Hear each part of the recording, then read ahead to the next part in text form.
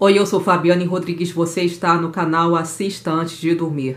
Um canal sobre curiosidades, casos criminais, mistérios, terror, filmes e séries e resenhas de livros. Sejam todos muito bem-vindos.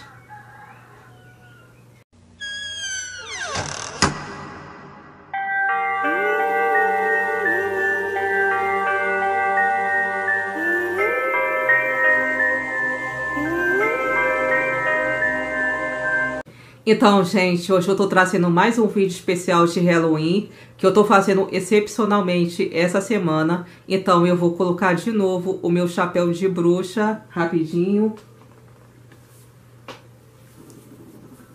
Colocar a câmera um pouquinho mais distante para vocês verem meu chapéu. Porque no vídeo não dá para aparecer o chapéu todo, mas tá aqui o meu chapéu bonitinho para simbolizar essa essa data, essa época especial. Então, gente, no vídeo anterior, que foi o vídeo que eu postei ontem, eu falei sobre a história do Halloween, eu contei como surgiu essa data e falei também da lenda urbana por trás dela. Hoje eu vou contar de forma resumida três crimes que aconteceram no Halloween dos Estados Unidos que não tiveram solução. Então, gente, eu espero que vocês gostem desse especial de, de Halloween do quadro Sextas Sombrias.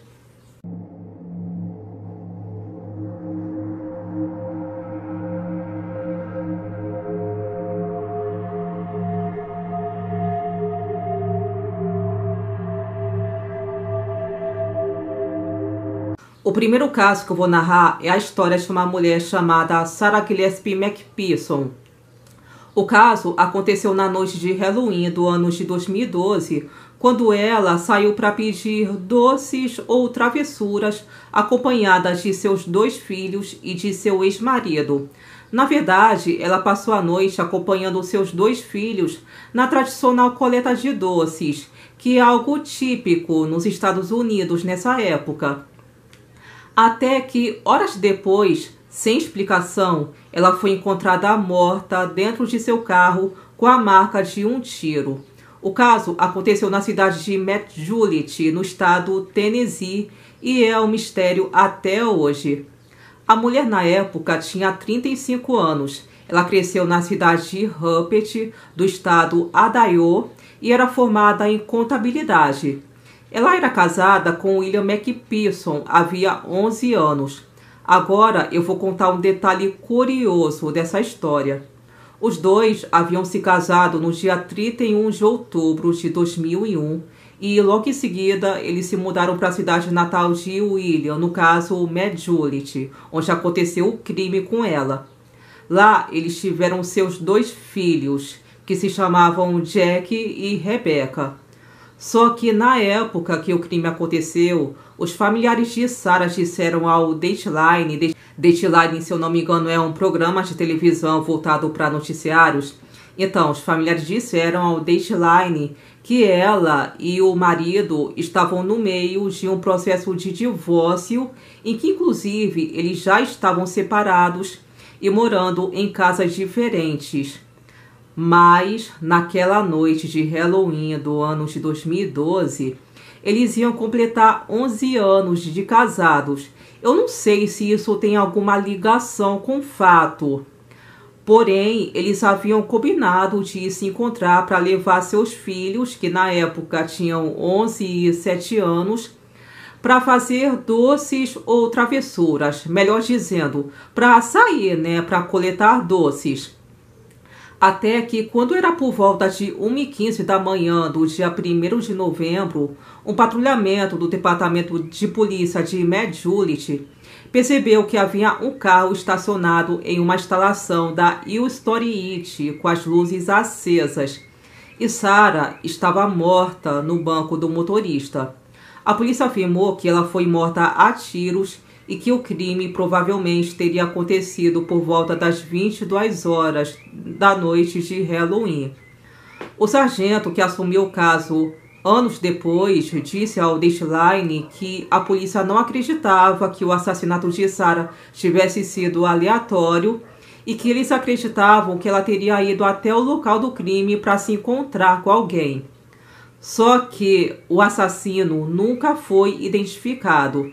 O sargento diz que o caso é arquivado, mas está ativo. Isso significa que a polícia ainda espera encontrar respostas para dar alívio para a família dela.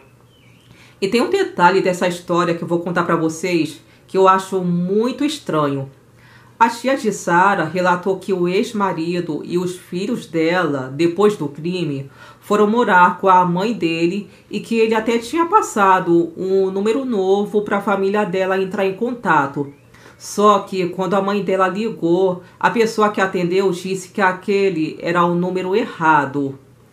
E detalhe que o marido de Sara era conhecido por ter problemas de controle. Eu não sei o que isso quer dizer, mas foi o que eu encontrei nas pesquisas sobre esse caso. E desde o seu assassinato, o marido de Sara não permite que a família dela tenha contato com seus filhos. E os pais dela até tentaram entrar em contato com eles várias vezes ao longo dos anos, mas as tentativas foram em vão. A polícia de Medjugorje até forneceu aos pais da vítima o número de telefone para que eles pudessem entrar em contato com seus netos, mas quando eles ligaram, né, a pessoa que atendeu do outro lado da linha disse que não reconhecia é, os nomes que foram fornecidos para eles e até pediu para que não ligassem de volta. É estranho, né, gente? Olha, eu vou dar minha opinião aqui rapidinho. Eu acho que o marido de, é, dessa mulher foi o suspeito desse caso, entendeu? Ou, no mínimo, ele tem dedo nessa história do crime. É o que eu penso. Mas é, dê aí a opinião de vocês, vê o que, que vocês pensam do que, que eu acabei de contar. Agora vamos ao segundo caso que eu vou narrar agora. O próximo caso que eu vou contar agora é de uma jovem que tinha 21 anos na época em que desapareceu misteriosamente após ter ido a uma festa à fantasia de Halloween em uma boate. A garota se chamava Yang Jong Song. Ela era da Coreia do Sul e havia se mudado para Virgínia, Estados Unidos, no ano de 1995.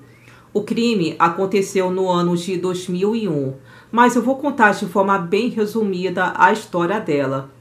Após ter se mudado para os Estados Unidos, ela passou a morar com os tios e era mais conhecida como Cindy, conforme era chamada. Depois de se formar no ensino médio, a Cindy entrou para a Universidade Estadual da Pensilvânia e já estava cursando o último período no momento em que foi morta no ano de 2001 foi quando um belo dia a garota saiu na noite de Halloween para uma festa em uma boate chamada Please Night Club. Ela foi acompanhada de duas amigas e estava fantasiada de coelhinha da Playboy. As três saíram da festa às duas horas da manhã e logo em seguida foram para a casa de um amigo em comum para jogar videogame. E assim foi. Eles ficaram lá até às quatro horas da manhã, até que eles saíram e a Cindy foi deixada no apartamento dela. Inclusive, ela havia bebido naquela noite e estava levemente embriagada quando foi deixada em sua residência. Entretanto, a Cindy nunca mais foi vista depois que as amigas a deixaram em seu apartamento. Então, os amigos denunciaram o desaparecimento porque já haviam se passado quatro dias depois daquela festa e a garota não entrou em contato com ninguém. Então a polícia foi até o apartamento dela, só que eles não notaram nada de estranho que tivesse dado indício de um crime ou de luta corporal no local. Inclusive, quase todos os pertences da vítima estavam em sua residência, incluindo a mochila e o telefone celular que ela costumava carregar. Até os cílios postiços que a garota usava como parte da sua fantasia de coelha também estavam no apartamento. O que estavam faltando lá, na verdade, eram suas chaves e a sua bolsa, que continha seus cartões de crédito e a carteira de motorista. Na verdade, esses eram os únicos itens que estavam faltando na residência dela. O telefone dela, inclusive, estava desligado e foi constatado que ela não havia feito nenhuma ligação de seu apartamento depois de ter voltado para casa naquela noite. Os familiares de Cindy haviam viajado no momento de seu desaparecimento.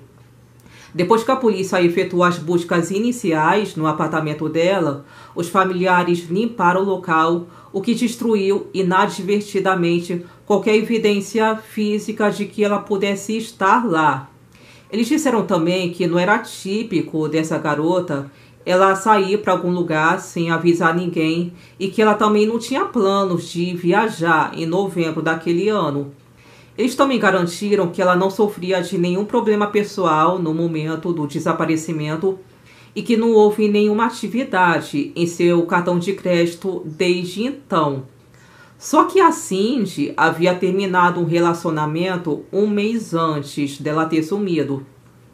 Então, os familiares chegaram a imaginar que ela talvez é, tivesse escolhido sair assim de repente, ou até mesmo ter cometido suicídio.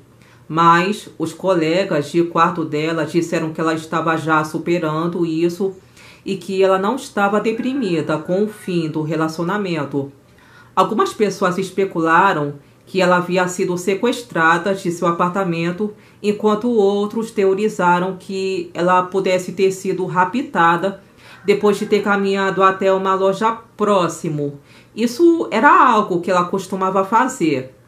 O fato é que havia poucas pistas do caso dela. A polícia até investigou a possibilidade do desaparecimento dela estar relacionado com drogas, porque a garota mantinha um diário e lá tinha uma anotação que constava que ela e seus amigos haviam experimentado maconha e êxtase. No entanto, não foi comprovada evidências de que ela teria usado drogas na noite do desaparecimento e essa teoria acabou sendo descartada.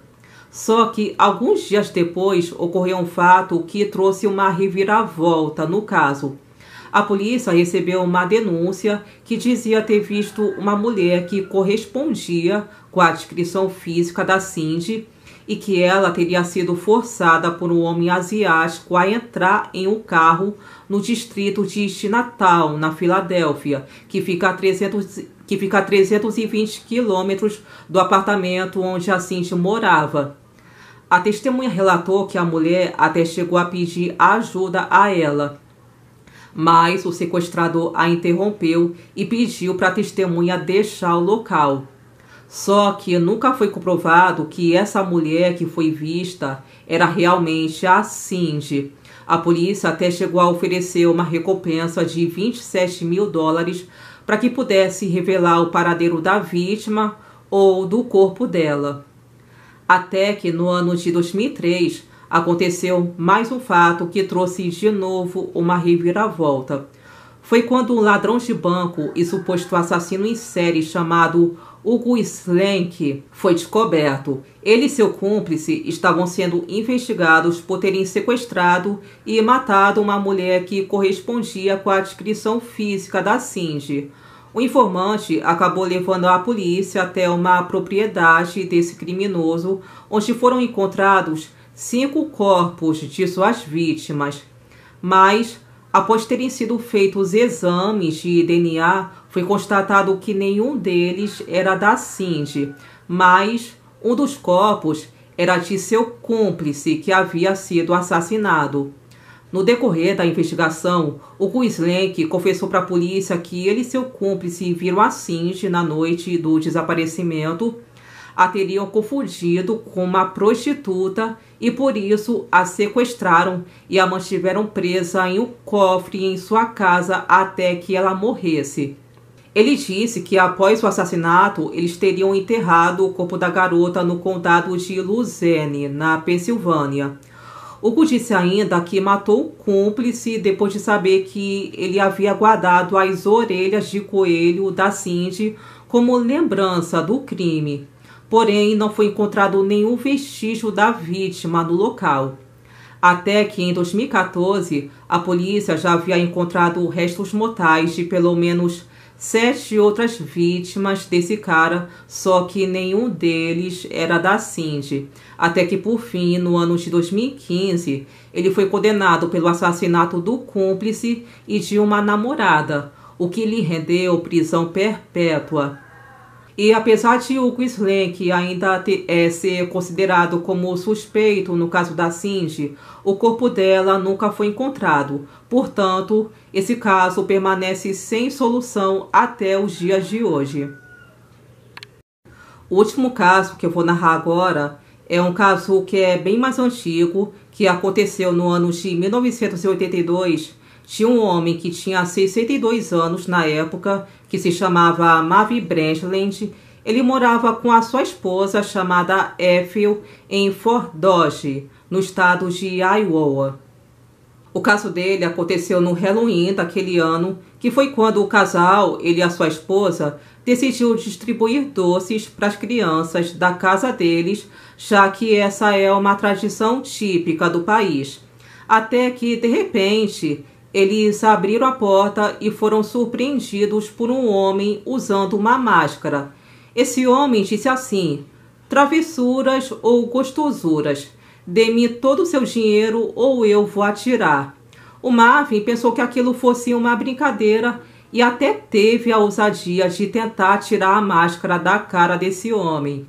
Só que esse homem, claro, né, não deixou. Nesse momento, o homem mascarado entrou na casa e sacou uma arma.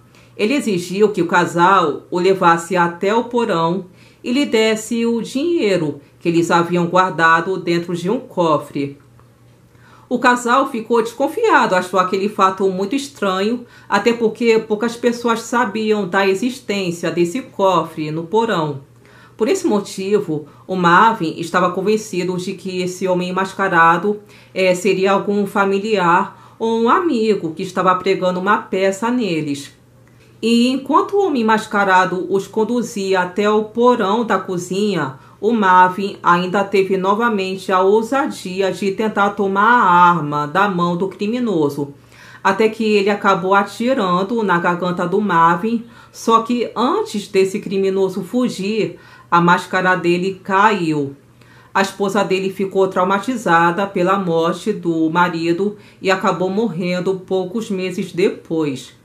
Ao longo dos anos, um conhecido da família deles supostamente teria se gabado de ter cometido o crime, então foram feitos vários exames de DNA nessa máscara né, que o homem estava usando, só que mesmo assim é, não havia material suficiente para realizar esses testes então, por haver poucas provas suficientes para identificar o suspeito, o caso do Marvin Brandlin acabou ficando sem solução. Então, gente, eu espero que vocês tenham gostado desse vídeo, que foi mais um que foi mais um especial de Halloween que eu trouxe excepcionalmente essa semana. Não deixem de assistir o vídeo anterior também do quadro Quinta Aterrorizante, que também está totalmente dedicado a essa data. Então, gente, é isso. Muito obrigada por terem me assistido. Beijos, fiquem com Deus, até a próxima e feliz Halloween!